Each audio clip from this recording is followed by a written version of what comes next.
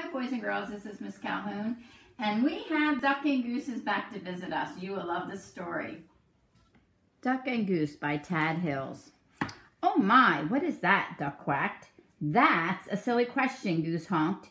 It is a big egg, of course. Of course it is an egg, I know that, huffed Duck. What I mean is, where did it come from? Goose looked skyward. He looked to the river. He looked to the fields. He thought very hard. Are you? he asked finally.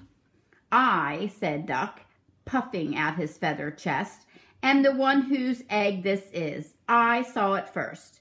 Goose quickly raised one web foot. It's mine. I touched it first. Hey, you should never put your dirty foot on an egg, Duck scolded. Don't you know anything about caring for eggs?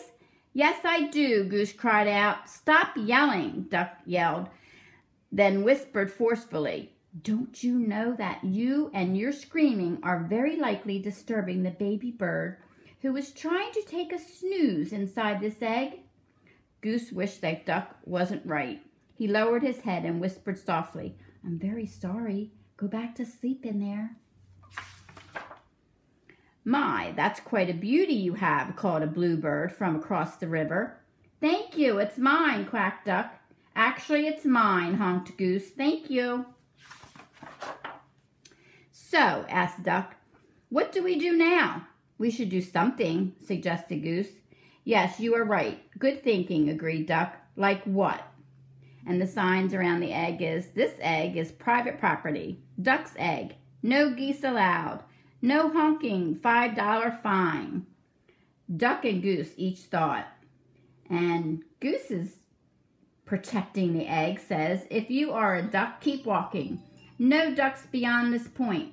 Quiet, please. Absolutely no quacking in this area. Well, we must keep the egg warm until fuzzy little occupant is ready to come out, said Goose. Excellent idea, exclaimed Duck. He pushed past Goose. Step aside, and I shall do that, just this. But Goose was quick too. After a flurry of fussing, grunting and groaning, slipping and sliding, honking and quacking,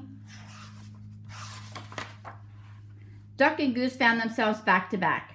Scoot over, I don't have any room, complained Duck.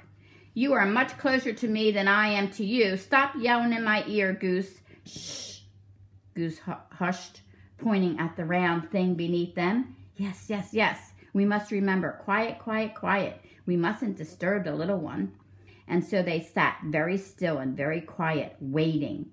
For a long time they waited. They listened to the cr crickets chirp and the frogs burp. I am going to teach this baby bird to quack like a duck, Duck boasted. Well, I'm going to teach it to honk like a goose, Goose honked back. I'm going to teach this baby bird to waddle, Goose added. So am I, Duck said. They heard the pitter-patter of the rain. I'm going to teach this baby bird to swim, Duck said. Me too, Goose said. To pass the time, they sniffed wildflowers in the warm sun and shared breadcrumbs while Goose taught Duck to honk. They watched the sunset in the sky and Duck taught Goose, Goose to quack. They counted the stars in the night sky. Let's teach our baby to fly, said Goose. Good idea, said Duck. I'm sure our baby will be a fast learner, said Duck. If it takes after you and me, I'm sure you're right, agreed Goose. Together they waited until, did you feel that, Duck? Duck nodded. Yes. Did you feel that, Goose? Goose nodded. It's time, Goose, it's time, Duck squawked. Quickly, Duck slid down and started running in circles around their egg. What should we do? He hollered. I think we should remain calm, Goose yelled back. Excuse me, a little voice called out. Duck stopped. In all the exciting confusion, he had failed to notice the bluebird kicking their egg. Can I play too? she asked. Play? This is no time for play, yelled Duck. This is no time for games, yelled Goose. And what's with the kicking? I was only trying to get your attention, said the little bird. Well, you got it, Duck huffed. False alarm, Goose, back to work. Can't you see that we are very busy here? Goose ex- explained to the bluebird. This is serious business. This is perhaps the most important moment of our lives. Oh my, I am sorry. I apologize, the bluebird. I had no idea. I just thought that maybe I could play with your ball. It really is a nice one, she added, and then she flew away. Goose gulped. Did she say ball? he whispered to Duck. You know, I did have my doubts, Duck finally said. It is a bit squishier than most eggs I've seen. Yes, and I must say I was somewhat suspicious of those big dots, Goose admitted. It may not be an egg, but it is lovely, said Duck. Oh, absolutely, Duck. Goose agreed. It's a keeper. As the crickets chirped and the frogs burped and the grass swayed in the gentle breeze, Goose quacked and Duck honked.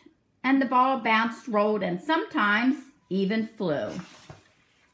So that's our story. And so, boys and girls, what I would like you to do is, is draw an egg on a paper and decorate your egg. See what design you can put on your egg. And did you ever um, think of an object was something else and it turned out to be something that you thought it wasn't? Like in Little Mermaid, where Ariel thought the fork was a brush and called it a dingle hopper. So I'll be waiting for your responses. Thank you.